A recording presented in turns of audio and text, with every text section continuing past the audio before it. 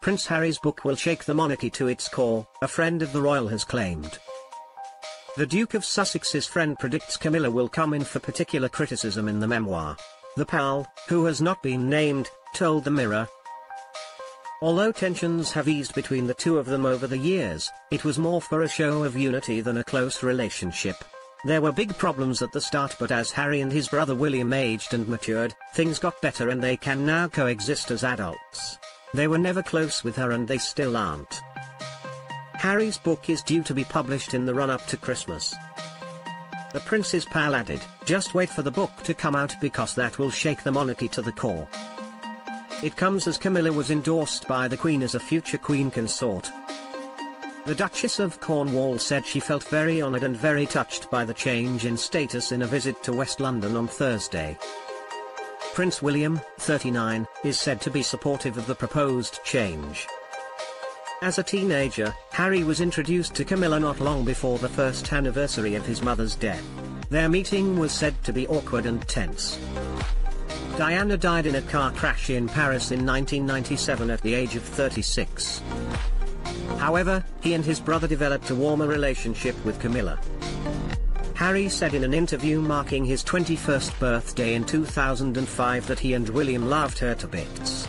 He also publicly thanked her for making their father very, very happy. Since moving to the US, the Duke has been keen to make sure his mother's memory and legacy are kept alive. The Duke, 37, said on Thursday he felt compelled to try and finish the work of his late mother in tackling HIV and the stigma around it. Diana, Princess of Wales, changed views on HIV and AIDS in the 1980s through her contact with AIDS patients.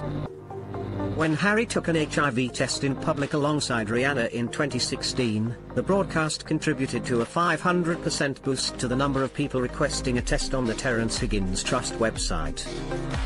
Former rugby star Gareth Thomas paid tribute to the Duke this week for wanting to be a voice for everybody around the world. He hailed his commitment to tackling injustice over HIV.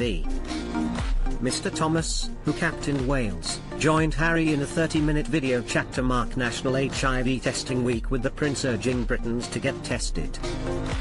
The pair discussed how normalising HIV testing could help achieve the goal of ending new HIV cases in the UK by 2030. Mr. Thomas, a friend of the Duke's, told the PA news agency afterwards that Harry was in a great place, with a sense of stability and of strength in who he is.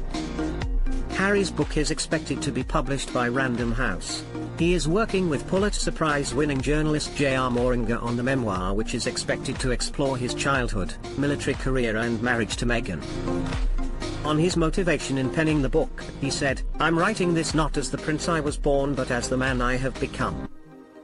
I've worn many hats over the years, both literally and figuratively, and my hope is that in telling my story, the highs and lows, the mistakes, the lessons learned, I can help show that no matter where we come from, we have more in common than we think.